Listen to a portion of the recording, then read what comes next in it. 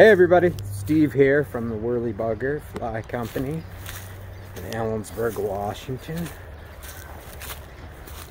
It is June 29th, unbelievable.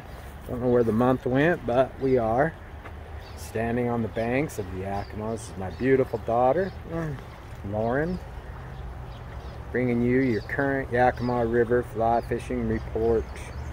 So as you can see, river is ramping up, coming up into its summer flows. So last week they started doing some major dumps of water into the Yakima. Just that time of year when local irrigators, you know, in three different counties, start utilizing the water from the river to grow crops. So unlike a lot of other rivers, famous trout fishing rivers around the west that actually start dropping in flow this time of year. The Yakima is absolute opposite. It, it goes up in flow. So that's, you know, why we constantly remind you that, you know, it's very, very difficult river to wade most of the year. And then this also happens. We get this really thick vegetation that starts growing along the banks so makes it difficult to fly fish.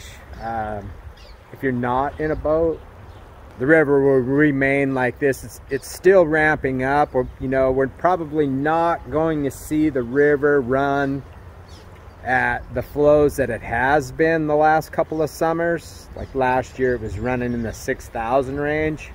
This year we just don't have that kind of water in the reservoirs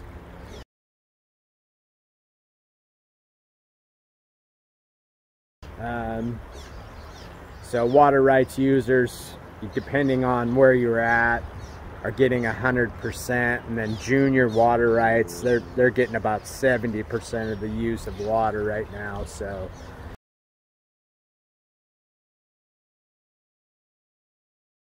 there's definitely a conservation in mind for what tapping into the water right now.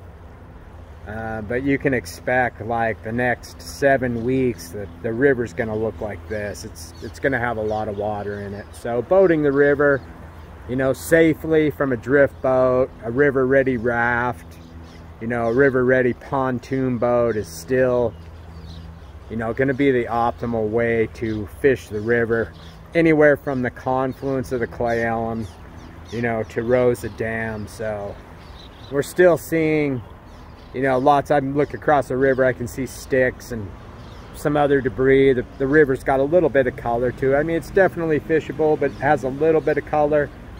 So it's still kind of, you know, coming up to summer flow, but remember anything over 1800 cubic feet, uh, very difficult to wade fish. And today this is, you know, in this part of the river, the farmlands. This is this is up around 4,000 cubic feet now. So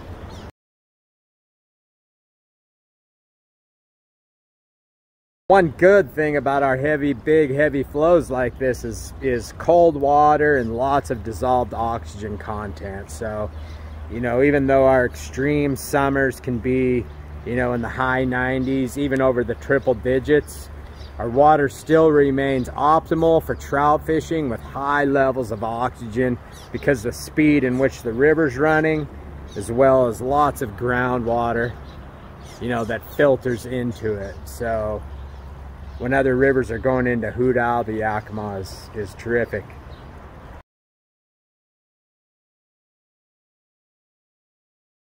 You know, it's actually harder really on the fishermen than it is on the fish because a lot of people have a hard time fishing at, you know, very, very high temperatures, you know, especially when it gets in the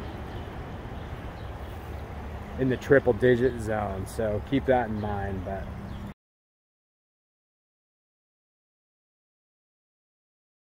it's that time of year now. There's lots of bugs going on. Still big green drakes in the upper river and the farmlands. Golden stones are still around. Yellow sallies, PMDs, caddis, and with all this big thick grass we got, all our terrestrial fishing will start up here. So grasshoppers, ants, beetles, all that fishing in, in the month of July will will will start and commence and we'll be, you know, we'll be fishing all those kinds of patterns. So if you're a tyer, get to work, start tying up your favorite grasshoppers. Popper dropper, really good. Fishing's been good the last several days now that the river is is starting to, to settle and not coming up at such a such a fast rate.